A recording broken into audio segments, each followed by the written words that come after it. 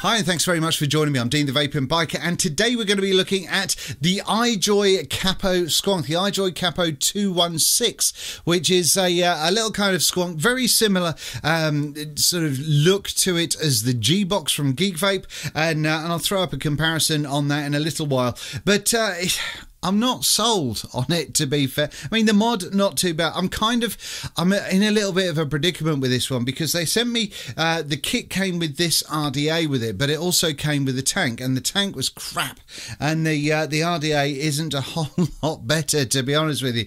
But as far as the uh, mod goes, that's what we're going to try and concentrate on today. So let's go down for the up close portion for the uh, iJoy Capo 216. Come on then. All right, so here we go. This is the box for the iJoy Capo 216, and uh, you know it's it's all right. It's got some information floating around on it. Um, do do you ever read any of this sort of stuff? I'm not going to go, into this too much at the moment, um, but uh, let's just crack this open and see what the unboxing experience is like. Plain white box going on right there, and then boom, wallop, bosh. There you go. There is the uh, the 216 and the uh, the the the the RDA that comes along with it. So let's get these out of here for the moment and we can see what else comes with this in the box. Opening that up, just push that RDA out move that to one side and then you can see that in here what we've got is a USB cable and we have some spares which I'll talk to you about in a second and we have this bottle which I'm absolutely going to talk to you about in a second because this is the first thing that really really annoyed me with this uh, with this product. Anyway under this we do have a, uh, a warranty card going on and then after that we do have the Manuel as well so you can uh, have a read up about how you're supposed to use it if you so wish. Right, let's get a little bit closer. Okay, so these are the spares that come along with it. A bunch of O-rings, two of the smallest bits of cotton you've ever seen in your life, and uh, this little tool when it comes to uh, changing out decks, which I can show you in a second. But that's about it when it comes to the spares. Now, they're moving away from the spares, and let's just talk about this bottle for a minute, shall we? Now, one of the things that I guess is kind of cool is that they do give you this bung. This is in the black bottle that I've got installed in here at the moment, um, but this bung obviously means that you can dump it in the top of your juice bottle, so you're less likely to uh, to uh, have it leak out if you're carrying a spare juice bottle with you. However, that's perfectly fine and dandy. You've got the uh, you've got a hard sort of plastic outer on here, and then a softer silicone going in the middle. And uh, you know, you go right, fair enough then. And I found that when I was uh, when I was uh, vaping it, that that happened that was that that impressed me greatly. So it started with when I was uh, when I was squonking it, I was leaking loads of juice out the bottom, and I couldn't work out what it was for ages because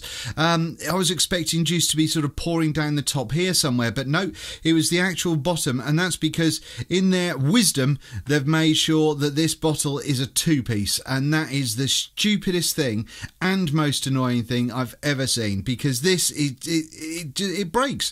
I mean, I, I haven't kind of pulled it, pulled this bottom section out. This just fell out of its own accord, and it's it, uh, unbelievably frustrating, especially when I dumped a load of juice and it uh, it really frustrated me. I went back to iJoy about this, and they went, "Oh yeah, well we'll take your comments on board um, for the next time." But uh, that is stupid. So if you do use this bottle, I believe it was the same in the original Capo Squonker, um, but uh, I didn't have one, so I couldn't really tell you. But uh, no, if you've got this, I think it's like a nine mil bottle, I think it is. Um, but uh, if you've got one of these, please, please, please be careful because this bottom probably will come off for you at some point in time and annoy your day like it did mine. Anyway, moving on to the mod itself fairly straightforward. In fact, let me just get you a comparison. And so there we go, comparing it to its nearest comparison, and that is the G-Box. And you can see that uh, stylistically they are indeed very, very similar. You can see that the iJoy 216 is a little bit shorter than the Capo, uh, than the uh, than the G-Box. Um, and when we look on the top, you can see that size-wise there is a little bit less kind of coming out this way because we haven't got that curve going on as we have on here.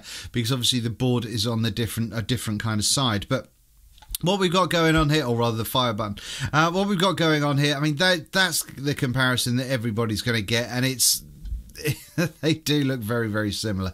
Anyway, let's take this out and concentrate on this one, shall we? So, this is the iJoy 216 Capo Squonky. You can see you've got a dirty, great big fire button going on right here. You've got a squonk bottle going on here. We've got a 510 with this kind of situation going on. I don't really know what this is all about, to be honest with you. I guess it, it was a sort of a stylistic kind of affair going on. Um, but uh, no, there we go. You've got the uh, you've got what looks like appears to be a stainless steel 510 going on the top there, and uh, that's just got a little bit of juice in there, making it look like it's a bit brass. But that is stainless steel going on. Now then, when it comes to the underside, uh, what you can see here is unlike the G box, we do have these two sections separated. So um, pressing that in will mean that you can get your batteries out. Now I'm running 18650s in mine um, at the moment, so I'm using this big honking great big condom thing going on. Um, but uh, yeah, this door isn't spring loaded or anything like that. Uh, it just it just does get pushed up a little bit by this pin going on right there. But uh, but no, otherwise apart from that, and trying to figure out which way up your batteries go, that way. There we go. Go on. In you go. Wallop. That's it. You do have a uh, you do have a plus and minus going on here as well, uh, so you can you can see which way it's going on. But obviously, when you've got it in the condom, that's not going to tell you very much at all. So just please be aware of that. Now, then, when it comes to the catch, um, when you do press that, that does click into place. But on more than one occasion, I have knocked this, and then that's just meant that that door has flown open. So uh, once again, just something to be careful with, especially if this is in your pocket or something along those lines. Now, then, when it comes to taking the squonk bottle out, essentially you've got a magnetic door going on right there. So you can see the, the uh, magnets on the sides of that and on the sides there and there. Um, that magnet looks like it's kind of gone in quite a lot going on there. I don't know if you can tell that, and there is some juice there still from when uh, from when the previous bottle leaked out. I thought I'd cleaned all of that out. Anyway, um, all you do then is you pull that down, have juice leak everywhere, and uh, and boom, wallop, there you go. Let me just clean that up. And when it comes to sucking in the juice, you can see right at the bottom here of the sort of the, the stem that comes down through the bottom there, um, that goes to the bottom of your juice bottle. Those holes that are actually in there are tiny. They are really, really tiny holes. And I think this is one of the contributors for it to be quite hard squonking, to get thick VG going up into that tube. I don't think those tiny little holes help at all there. But then underneath there, you can see that we have got a seal going on, and that's obviously what will will uh, seal the top of your bottle. But uh, just to get your bottle in there, it couldn't be any easier just push it up and away you go. But like I said, it's uh, for thick VG. I've struggled, but I'm sure I'll talk about that later on. You do have a little sort of tab going on on the front of this little cover there, which goes in first, and then the magnets hold it in place. And so there you can see that we do have the screen on that side and we do have the fire button on this side. So rather than being on the same side as it is with something like the G-Box, then uh, you have got sort of this, which really does make it a finger firer, in my opinion. Anyway, looking at this board. Now, um, first of all, when you press the fire button, you can see that it's really dark. It's really, really dull. The smoked glass, whatever they're using on the front of here, the smoked perspex, is really, really dark. And so this can be very difficult to see in uh, in kind of uh, a, a, sort of a bright environment. Um, but uh, if we give this a, uh, a five clicks, that turns it off. Five clicks off, and five clicks to turn it back on again. Boom, wallop. Three clicks takes us into this menu system here where we've got, uh, we can scroll through and hopefully you can see the little arrow that's going underneath there. So under the moment it's under the P, then it's under the T and then it's under the reset puff. So uh, if I go to the P section there and then click on the fire button, we get the options of normal, hard or soft. So you can choose how you want that or how, how hard you want that to fire in that sort of initial, um, initial kind of moment of fire firing up. Uh, then if we go back into that menu, we can then go to the T, choose on that one, and then at that point we can choose um, NI, TI, stainless steel, or go for a full TCR mode as well if you so wish. So uh, that's the uh, that's that's it. That's the options. There's no. I've certainly not found anywhere that gives us the option of um, of uh, kind of increasing or decreasing brightness. Uh, but no, what you've got in that top corner right up there, you can see that we've got the NI. Hopefully that's in focus, and you can see that. Uh, but obviously, we do have the wattage. We do have an ohm reading that's just underneath there. Obviously, we've got the temperature going on here.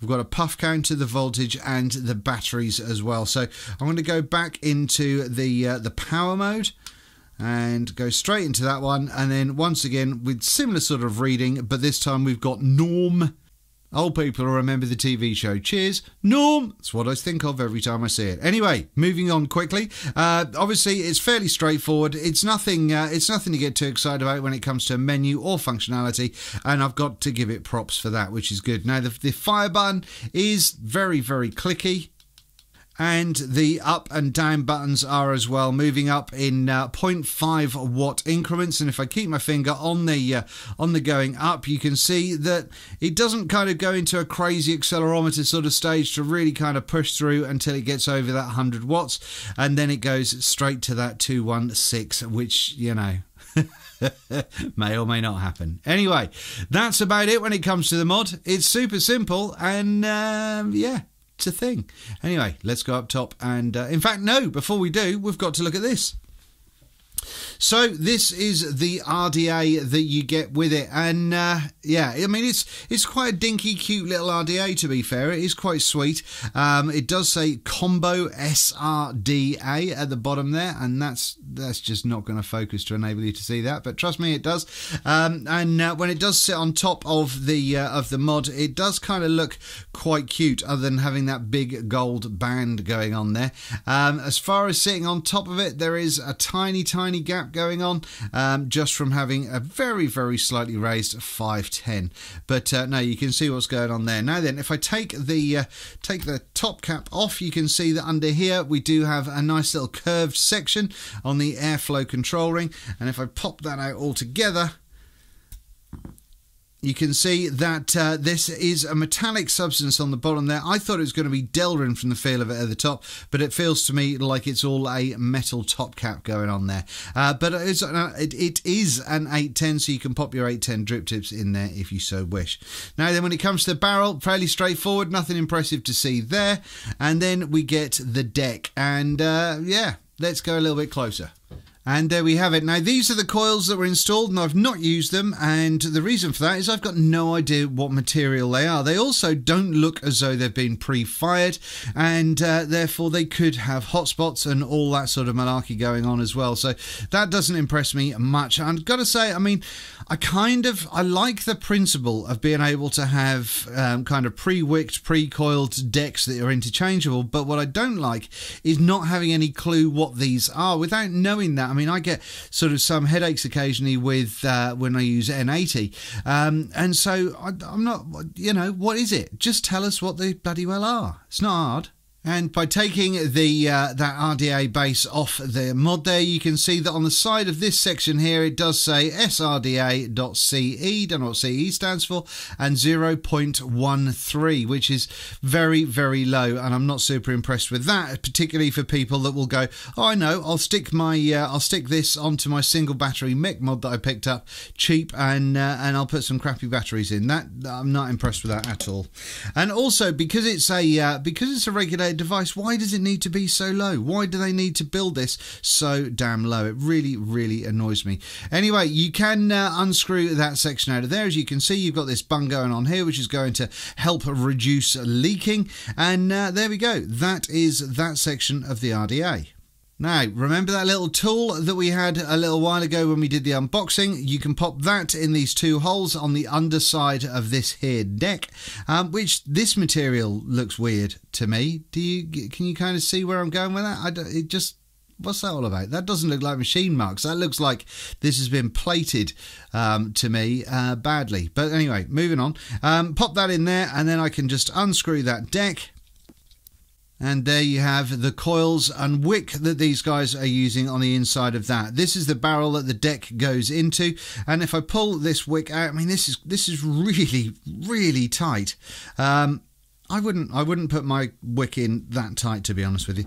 Um, but there you go. That's it. That is the uh, that is the deck. It looks as though on the underside of this section, which you pull out of the, the section that you've kind of unscrewed, that this is like a bit of little bit of circuit board or something like that. It just and and it looks as though you've then soldered your your, your coil legs into. I just I don't get it. I don't get it. I don't understand why that's a thing. That that just that doesn't look right to me. All with no, I'm not. I don't know. Don't like it.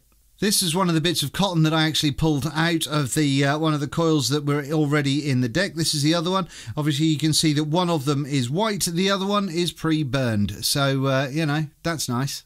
Now, they did send me these two decks as well that you can use. Now, obviously, we're, we're fairly similar. We're fairly similar when it comes to deck design. They're both two posters. There's just one's at a funky angle and one's a little bit wider. So I guess you could use this one a little bit more if you are more concerned with having uh, having kind of big chunky wire, maybe. But uh, but there you go. That's a thing. It's uh, it's it's it's definitely a thing. But uh, let's get this inside one of these here decks or in one of these here bottoms. And here we go with uh, screwing this in. Now, obviously, we've got this kind of bung that we saw on the uh, on the, the other deck before we took that out, and uh, you're going to want to uh, screw this into here. Now, um, one of the things that confuses me somewhat on here as well is if I screw that all the way up like so, then don't really seem to have an awful lot of insulation, but this it just seems like a shit show to me. I do not like this RDA. I don't like this system here. I don't like what we've got going on underneath this.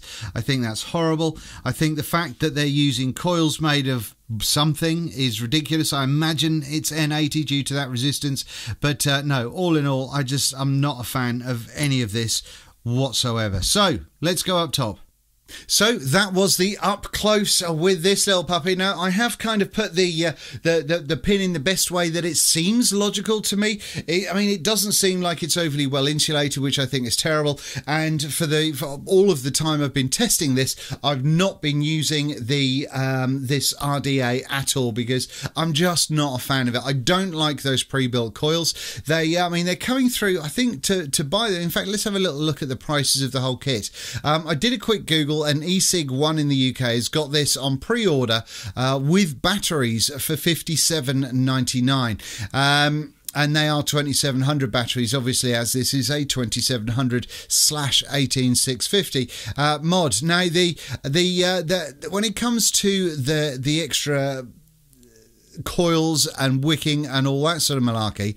Um, basically, you can buy three coil heads for ten ninety nine, which seems just truly ridiculous. Now, obviously, you can uh, re-wick these coil heads, but uh, but you can't recoil them, so you're kind of stuck with what you've got there. And I think that the, the fact that the other two, the two that are available, one is the 0.13 or 0.14 that we've got in this, and the other one is a 0.1. For fuck's sake, I think that is that's shocking.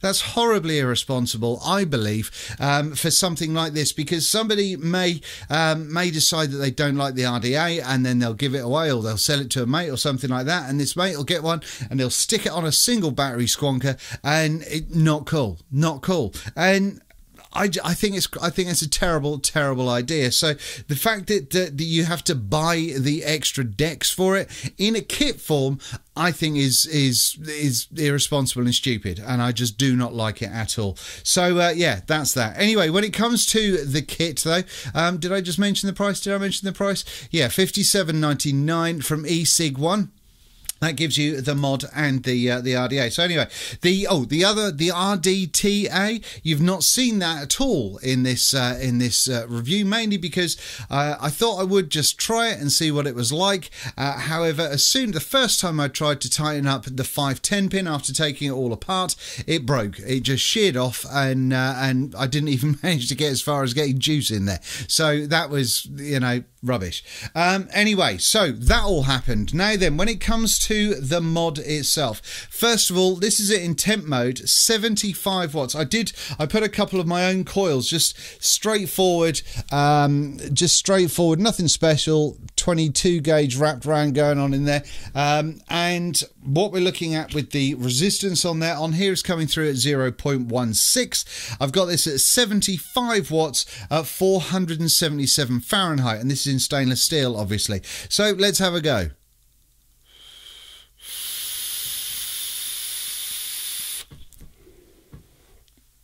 Weak as you'll just weak. Weak, week, week, week, week. So uh, I'm going to take this out of the uh, the temperature mode, and I'm going to put this just in power mode in normal. And once again, 75 watts. Not going to change that.